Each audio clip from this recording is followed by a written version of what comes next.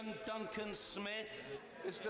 Speaker, can I um, recognise my right honourable friend's genuine endeavours in all these matters uh, and just return her to the point about the backstop? Does she recognise the genuine and real concern held on all sides of the House about what would happen if the UK was to be forced into the backstop.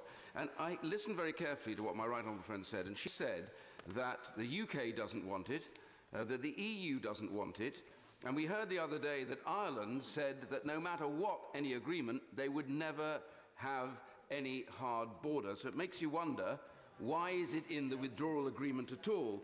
But the point I want to make to my friend, and the question really is this if the government going down the road toward a negotiation is heading towards that point when the backstop will become invoked, does that not really generally mean that Monsieur Macron is right that we will come under intolerable pressure to agree almost anything to avoid our entry into what my right honourable friend rightly says is something we never want to be in. Yeah, yeah, yeah. No, can I say to my right honourable friend, I do recognise the depth of concern that there has been and that remains for some members of this House about this issue of the backstop.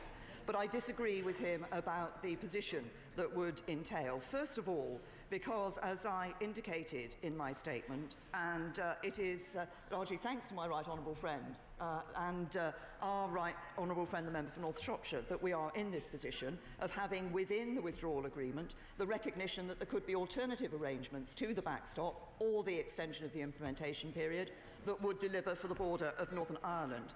But it is right that while I recognise the depth of concern that this is not a situation that the UK wants us to be in, neither is it a situation that the European Union wants us to be in.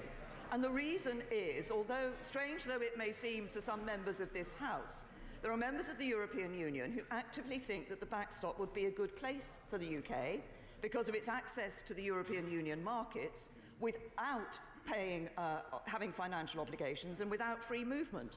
Uh, and so that's why they don't want us to be in the backstop either.